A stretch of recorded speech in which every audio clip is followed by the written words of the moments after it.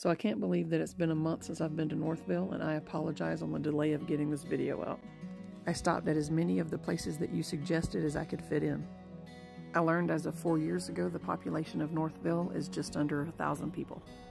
The village was initially settled back in 1786. However, the first store didn't go in until the 1800s, and seven years later, in 1807, there were only seven families that lived on Main Street.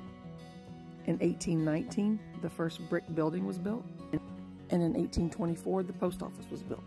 In 1827, it officially became known as Northville.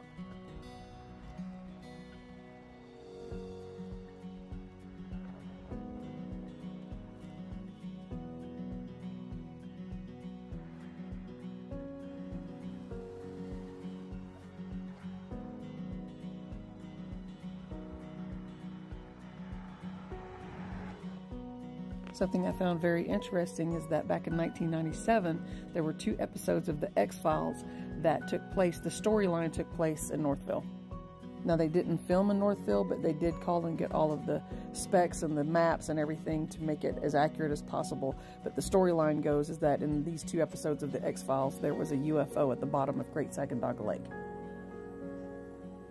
I'm currently in the process of scheduling another visit to go back to Northville because clearly I did not get to do it all. I was only there for seven hours and I spent a lot of time with three individual businesses. So I there's so much that I missed, including ADK Blend and the Five and Dime and so many things. So I'm going to go back and actually stay for two days. And in the comment section on the beginning, on the original post, you all requested to know when I'm going to be there. You'd like to meet up for lunch. If that's something you would still be interested in, I'll definitely let you know the dates that I plan being back in Northville. It was a beautiful town, absolutely gorgeous.